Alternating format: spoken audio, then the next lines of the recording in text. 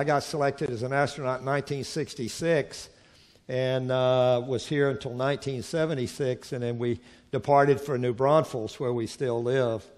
And it was great memories of the nine missions that uh, went to the moon. I got to work on five of them.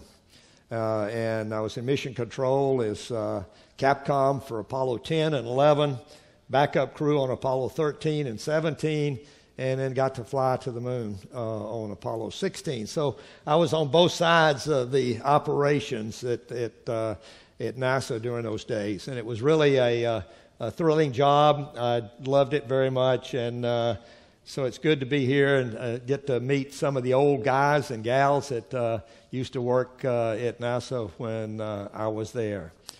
So it's just uh, a blessing to be here. My wife, uh, Dorothy, is uh, with us, and uh, I'd like her to uh, stand up and let me introduce you to her.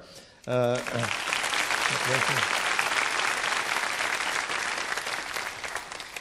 want to tell you the story of this marriage. it has made it 53 years uh, last last month. So, uh, so, but when we were at NASA, there was another story about our marriage, which I'll get to later. Uh, I, as I said, it was exciting for me to uh, be here. I was a graduate of, uh, of, the Naval Academy. You might wonder how uh, a Naval Academy midshipman can be a general in the Air Force. Well, back when I graduated, there wasn't any Air Force Academy, uh, so they would uh, allow 25% of West Pointers and Annapolis midshipmen to volunteer for the Air Force. And so I fell in love with airplanes at the Naval Academy, so I had a choice naval aviation or the Air Force. And, uh, and so I was torn about which to do, leaning Air Force, but wasn't sure. And so my senior year, I got a physical uh, by the Navy doctor there at the academy.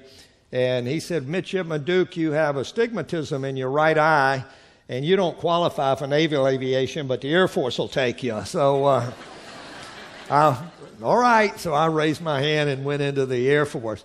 And, you know, that was uh, 60 years ago next June.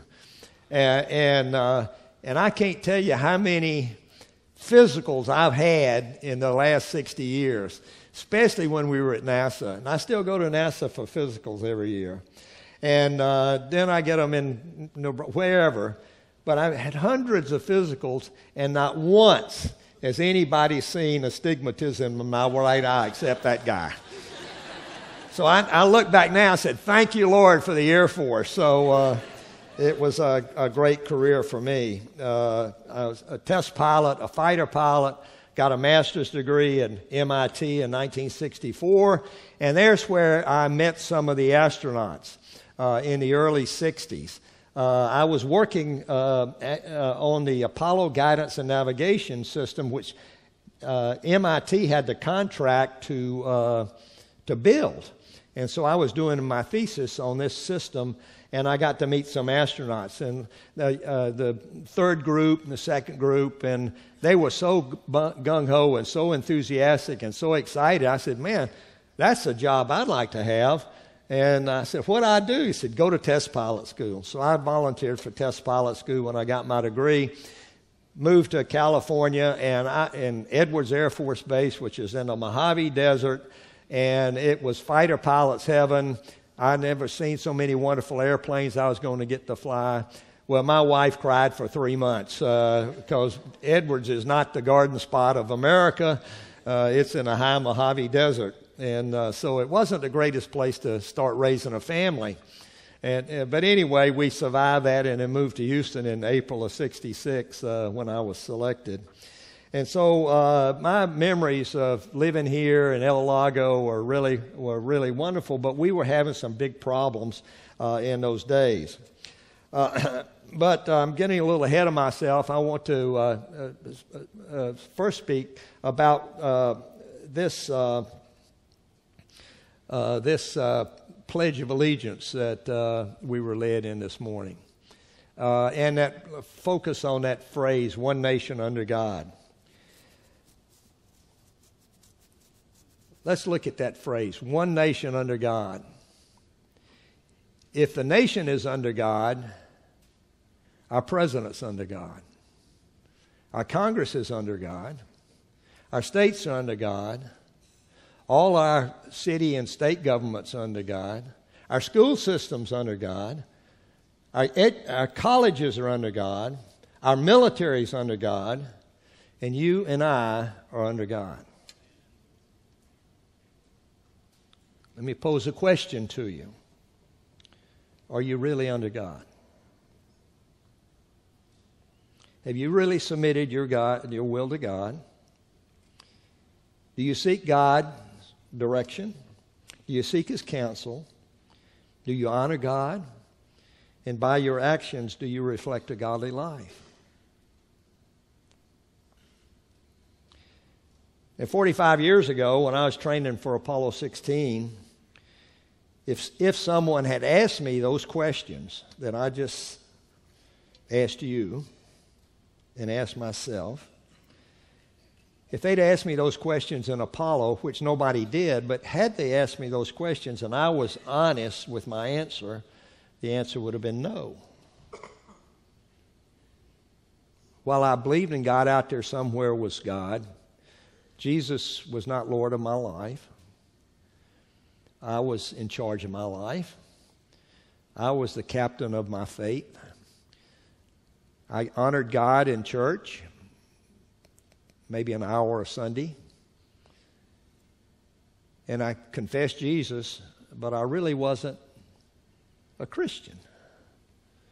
I was somebody went to church. I was a churchian. I was in charge of my life. And I was doing a pretty good job at it. So while I honor God, I was uh, with my lips. I really wasn't a believer. What I was really doing was preparing for my flight, and it was a you know 60, 70 hour job uh, per week. And I had volunteered to for this job because I love adventure and I love to explore. And most of us as fighter pilots and test pilots, that's a type A personality, and that's what we wanted to do. I did not join for fame or fortune. Fame is fleeting. Uh, the only time I was ever on television, I had my spacesuit on, so I don't get on airplanes and people sit down next to me and said, "I know you. You walked on the moon." It's never happened. Uh, if I, like I say, get on my get on the plane in my spacesuit, they might say, what do you got that on for, you know? And, and I might confess who I am. I don't wear a sign around, hey, I went to the moon. So I never get recognized. I, so fame is fleeting. Uh, fortune, uh, we did not make a million bucks uh, for going to the moon, like uh, National Enquirer said. I was a lieutenant colonel, and I got paid like every other lieutenant colonel. But if you uh, work for NASA or you work for uh, the military, and maybe even your company, when you go on a trip, it's temporary duty. So in the military and NASA, they were very rigorous. So you filled out a travel voucher. and I did, literally, it's a true story. And, uh, and it was Houston, Moon, Kennedy, Kennedy, Moon, Moon, Pacific, Pacific, Houston. And, uh, and uh, the moon flight was 11 days, so back then the per diem rate was $25 a day. Well, 275 bucks, you know, better than nothing. So when I got my check uh, on the on the voucher, it said government quarters and meals were furnished, so they deducted that part. And so, well, how about a nickel a mile? Uh, well, we furnish the transportation. So uh, NASA uh, so, sent me a check for $13.75, which I immediately cashed. Uh, and uh, so that was my fortune.